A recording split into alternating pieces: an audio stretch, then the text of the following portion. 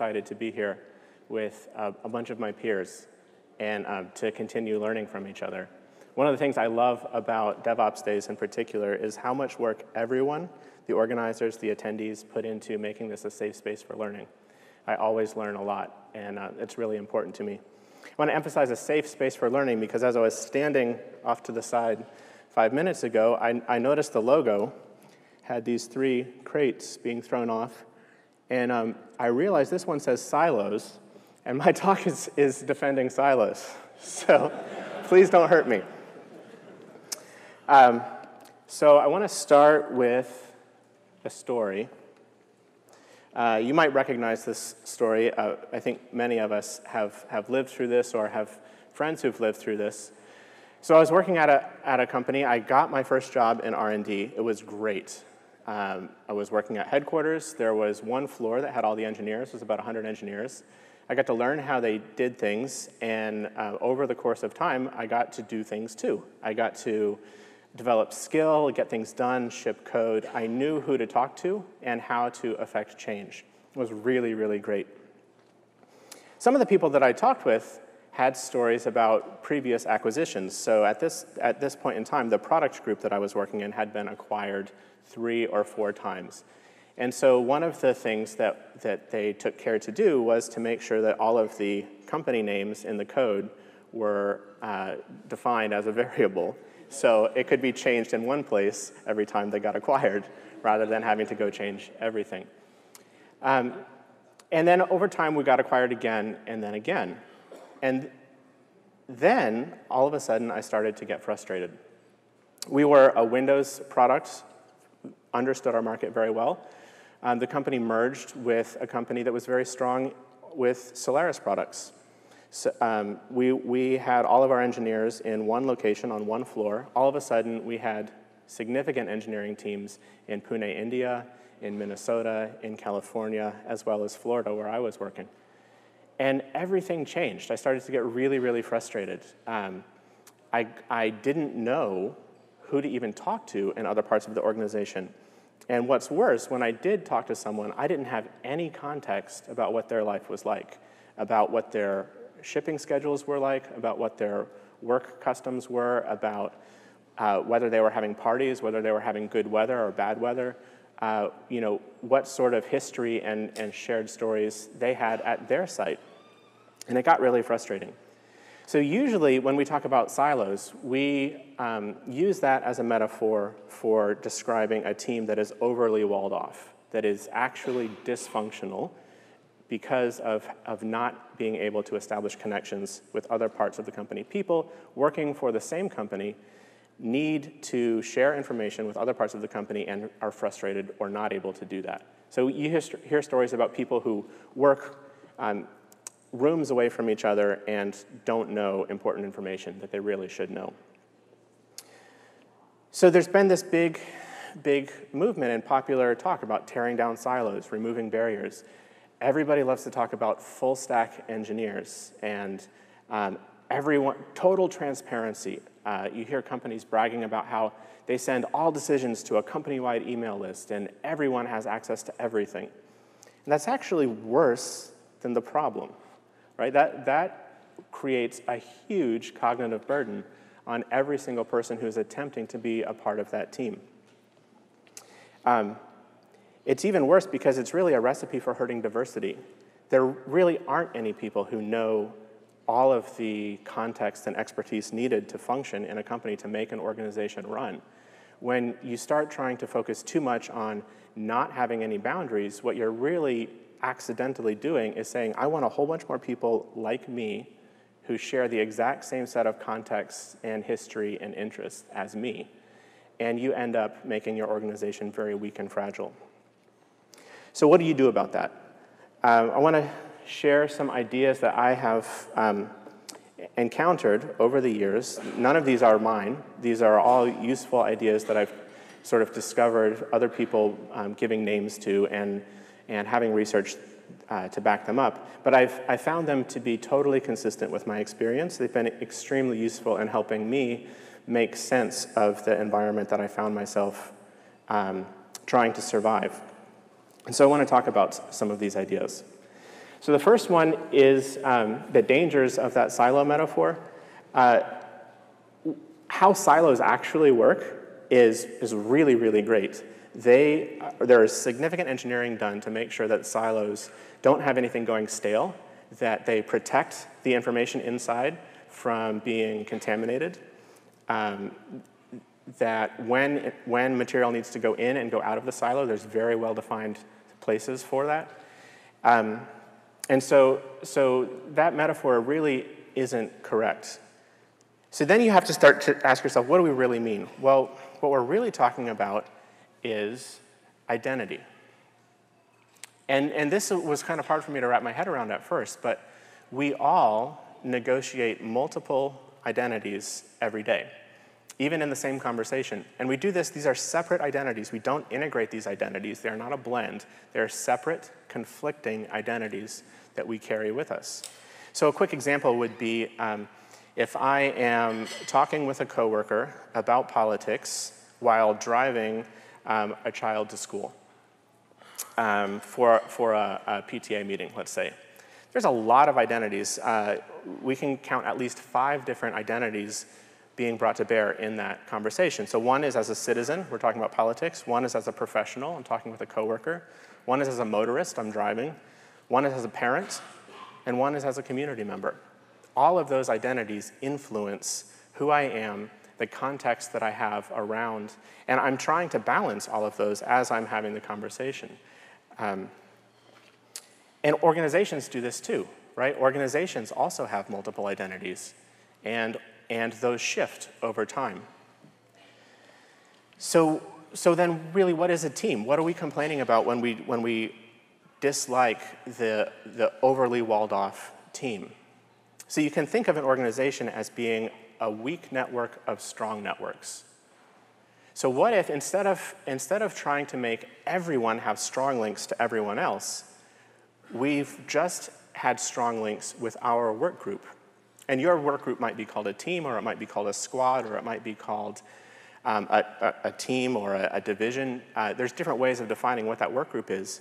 But if you have very strong links within that work group, and then you are able to establish weak links to other work groups in the team, in the, in the organization, and change those weak links over time, you start to get an organization that's much more resilient.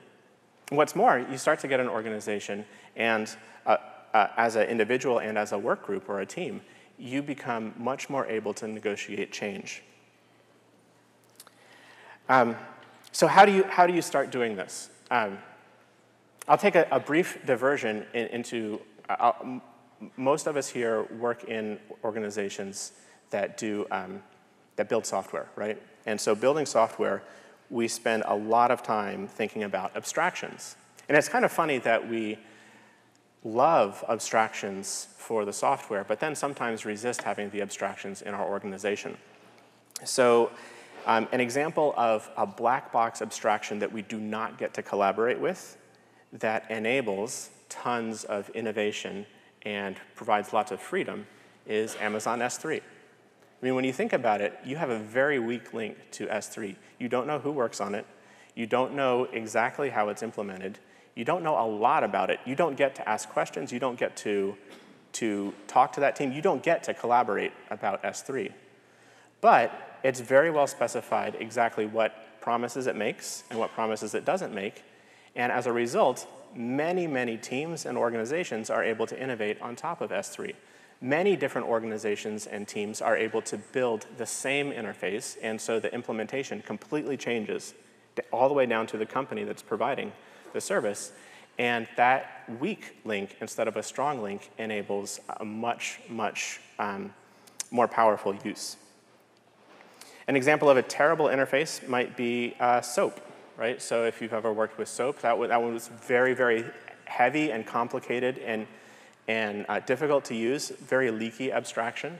And uh, so you didn't get any of those good things. It was always something custom, never portable.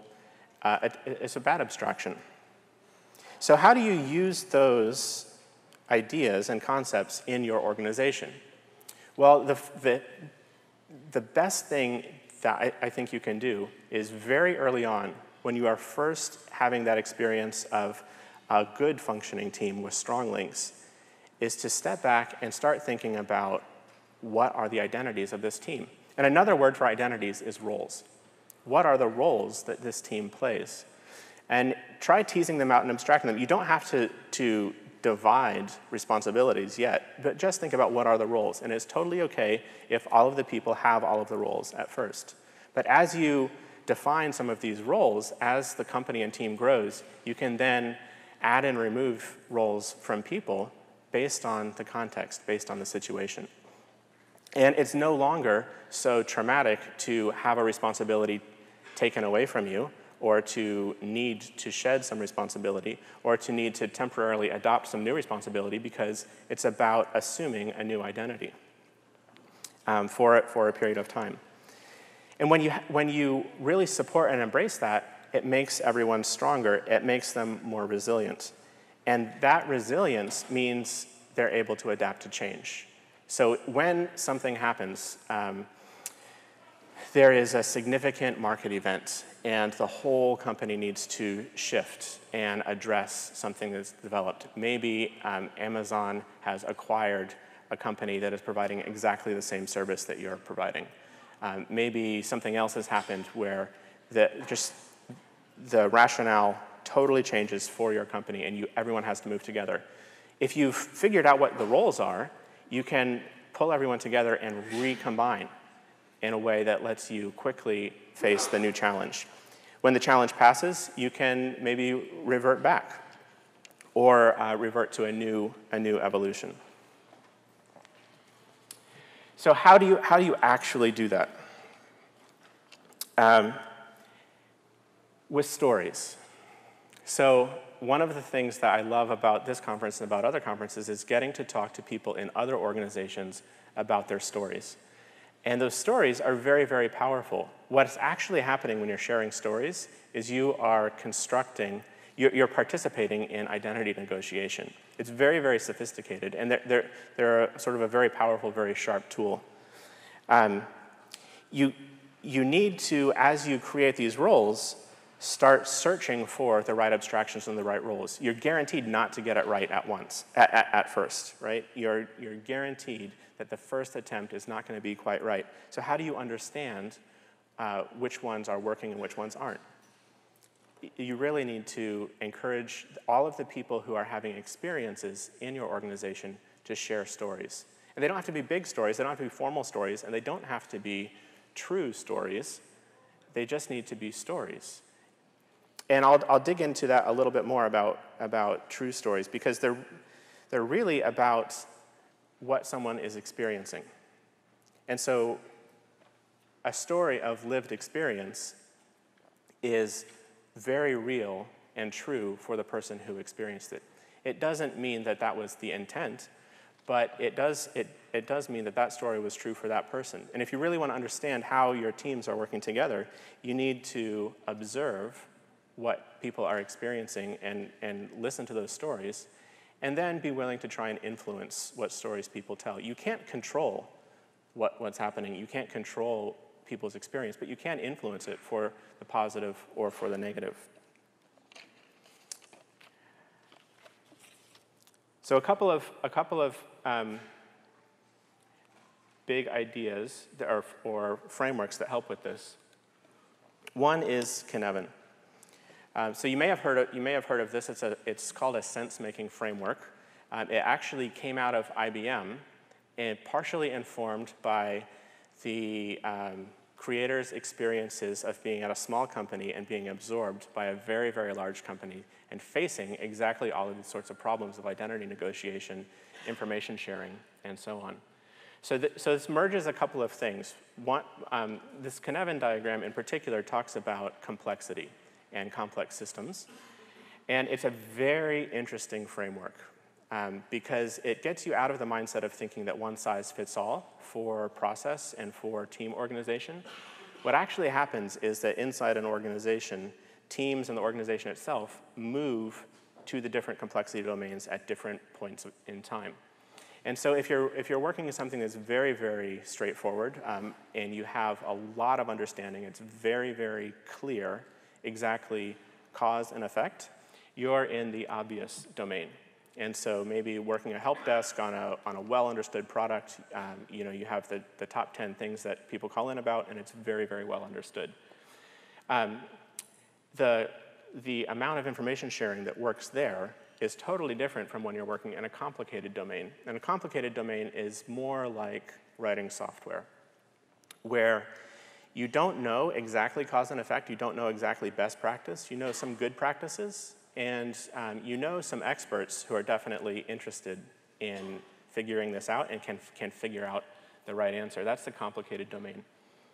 Um, complex is where it's way more unstable. You don't even necessarily know um, a type of expert who's interested in this problem. Uh, you might know one person.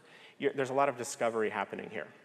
So some of the processes that we see being used in organizations actually are attempts to shift the company and the set of teams within that company from one of these domains into another. So one that we see all the time is um, a startup grows very, very quickly, and there's lots of chaos. They're in complex, they're discovering product market fit, they're discovering all of this stuff. And as they want to, to stabilize, they bring in processes like Scrum or, or um, other development practices, and that attempts to shift things from complex to merely complicated. Um, another thing that we see happening is companies that are very, very large and very, very stable. So think of your Fortune 100 companies who've been around for 100 years. Um, they might recognize that they're starting to lose relevance with a new generation. The world is changing around them. And so staying safe and simple and obvious, uh, where they have best practices, continuing to follow those best practices, isn't going to work anymore. They might deliberately tip over a, some teams into chaos. And the way they do that is by things like inviting an outside design firm to help them figure out ideas for a new brand and a new company. So you think about that, that, that is really taking like a group of people who were inside this totally stable place and putting them in a very, very chaotic environment. And they need to do a lot of things to make that safe. Um, provide some ritual around it, provide some time boxes, some parameters, really make it safe to fail. So this, this Cynefin framework is very, very interesting as um, a way of thinking about what is the situation that my team is in right now and, and the frustrations that I might be feeling about collaboration or lack of collaboration with other teams, what's, that, what's the actual right thing to do for our current context? What identity should I be trying to negotiate?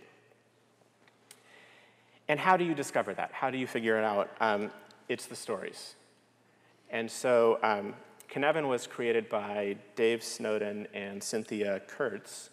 Um, Cynthia also did um, this whole book working with stories. And um, it's amazing. Absolutely amazing. Um, you, it's also dangerous. It's a sharp tool. So becoming an expert at working with stories is to become an expert at controlling a propaganda machine. Um, and you can do a lot of good with it, and you can also do a lot of damage with it. So it, it's really important not to just get excited about the stories and go off and accidentally do a bunch of damage with them, but to really understand the appropriate times to use them and, and the, the not appropriate times to use them. But the idea is it, there's these three big ideas um, participatory, narrative, inquiry. And so it's not about agreeing on a single story that is the definitive truth for an event or for the way a company works or the way a team works, but it's about listening and being listened to. So to ask people to participate in telling you what, what it's like for them joining your team. And then to share with them what, what it was like for you being in that team and having a new person join. Um, and to ask each other what you learn from these stories. Um, it's, it's really, really fantastic technique. And Cynthia's book has so many great um, examples of how to conduct these story sessions uh, in, a, in a safe way, in a useful way, without, um, without having all kinds of chaos, uh, without having someone who's really good at sto- telling stories just dominate the entire narrative. It's, it's a fantastic resource. Um, the, other, the other thing that will be very useful as you start to use these techniques is to develop some rituals. And at first, it sounds like, whoa, man, rituals, those, those don't sound very good. Those sound like you're turning your brain off. Um, but they're actually really, really useful in negotiating identity. So I'll give you a, a, a few examples of some rituals that help negotiate one of your identities. So one would be a judge putting on robes, right?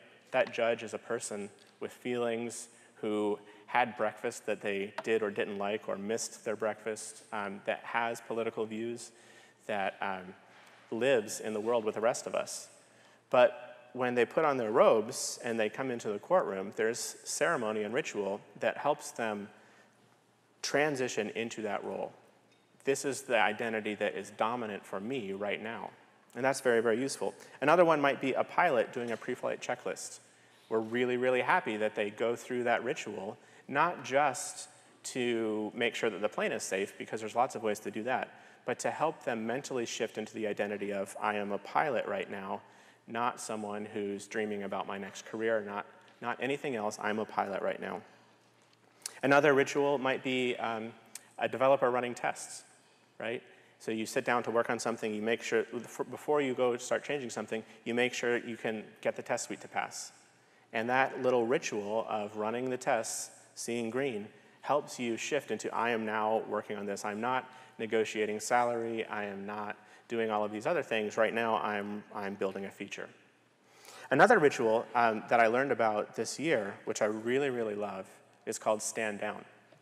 So we have these, um, lots of people do these stand up meetings, right? A brief synchronization meeting at some point during the day to help a work group figure out what they're, what they're going to do for the day, what their priorities are. And that's a nice ritual for transitioning in, right? For adopting those identities. But we're people, and, and as, as I've worked a lot with remote teams, I've started seeing that people have a real hard time shifting away from their set of work identities. Uh, I, worked, I worked from home for nearly 10 years, and it was really, really hard to turn off at the end of the day and stop thinking about work. So um, someone at Outpace actually started this tradition, and then I encountered it at a company called Healthfinch, and they do stand down at the end of the day. It's a totally distributed team, and for the last 10 to 15 minutes of the day, they would have everyone who is able call in to a meeting um, in that work group. Uh, it wasn't the entire company, but just that work group, and talk about their day. We're done working.